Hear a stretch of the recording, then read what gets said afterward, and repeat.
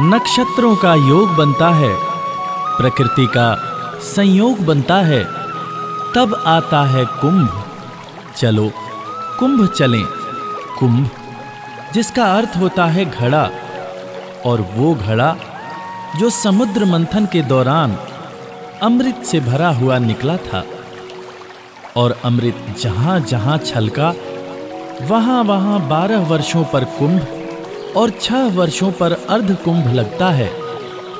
कुंभ के पावन समय में नदियों की धारा अमृतमयी एवं औषधि युक्त हो जाती है, जिसमें स्नान करने से इंसान रोग मुक्त होता है एवं उसे स्वर्ग की प्राप्ति होती है। ग्रहों के संयोग से ये महासंयोग इस बार प्रयागराज की पावन धरती पर हुआ है। तो चलिए भक्तों उसी पावन कुंभ की पावन कथा सुनते हैं, जिसे आपकी सेवा में प्रस्तुत कर रहे हैं वेब म्यूज़िक परिवार और आपका अपना रविराज।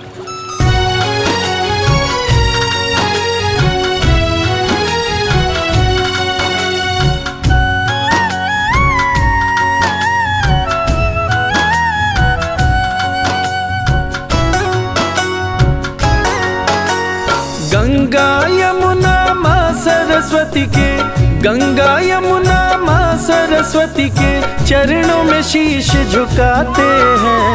तीर्थ राज पर याग कुंभ की पावन कथा सुनाते हैं। तीर्थराज प्रयाग कुंभ की पावन कथा सुनाते हैं।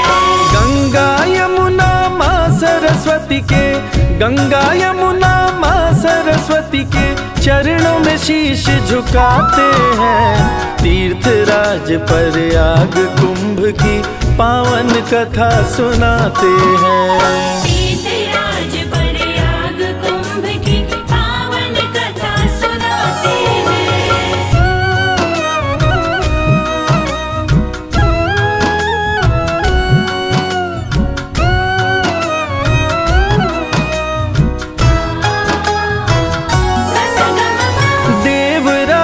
से ऋषि दुर्वासा ने एक बार मुलाकात की। खुश होकर के इंद्र देव को पुष्प दिए परिजात की।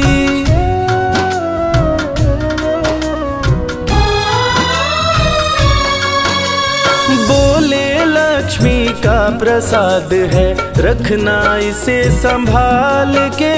सब दिन इसकी पूजन करना पूजा गृह में डाल के स्वर्ग सदा खुशहाल रहेगा। स्वर्ग सदा खुशहाल रहेगा। ऋषिवर यही मनाते हैं। तीर्थ राज पर याग कुंभ की पावन कथा सुनाते हैं।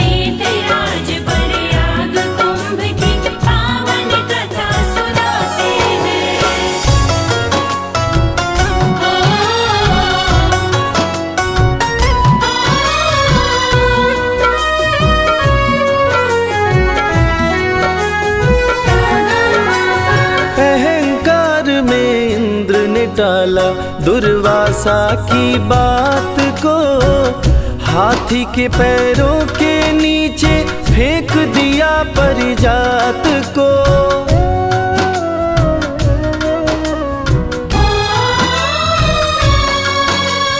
देखा जब अभिमान इंद्र का, दुर्वासा गुस्साए हैं श्राप दे दिया देवराज को, गुस्सा रोक न पाए हैं।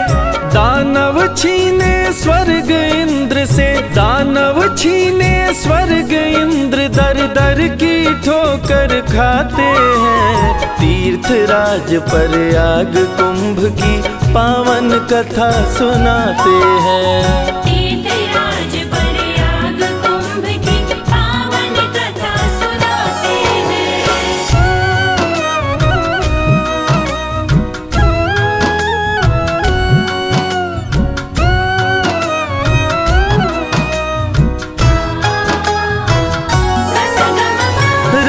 चतुर्दश लेके लक्ष्मी चली गई पाताल में। देव और दानव चाहते थे सब कुछ पाना हर हाल में।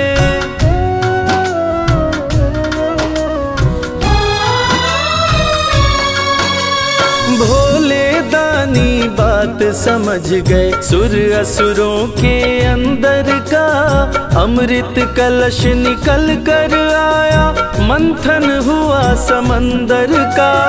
अमृत कलश जयंत ले भागे, अमृत कलश जयंत ले भागे, जो इंद्र पुत्र कहलाते हैं। तीरथ राज प्रयाग कुंभ की पावन कथा सुनाते हैं।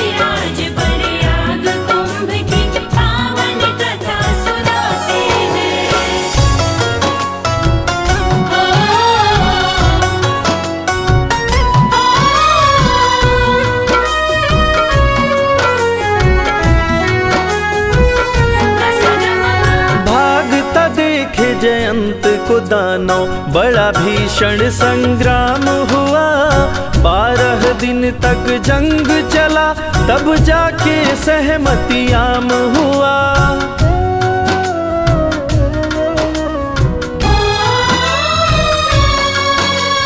बराबर भाग में बटेगा अमृत। समझौता सरेआम हुआ। छीना झपटी में अमृत छलका। चारों तरफ़ कोहराम हुआ। चार जगह धरती पे गिर गया। चार जगह धरती पे गिर गया। जहाँ पे कुंभ नहाते हैं, तीरथ राज प्रयाग कुंभ की पावन कथा सुनाते हैं।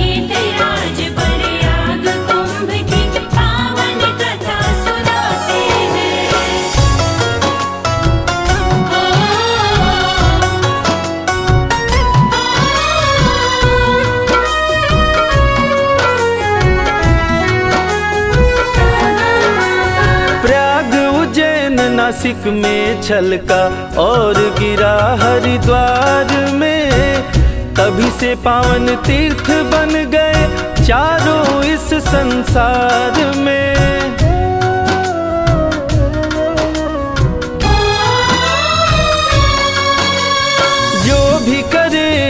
स्नान कुंभ में पाप सभी कट जाते हैं, रोग कष्ट सभी दूर हो जाते मन वांछित फल पाते हैं। वेद पुराण बखाने महिमा, वेद पुराण बखाने महिमा, पापी भीतर जाते हैं। तीर्थ राज पर प्रयाग कुंभ की पावन कथा सुनाते हैं।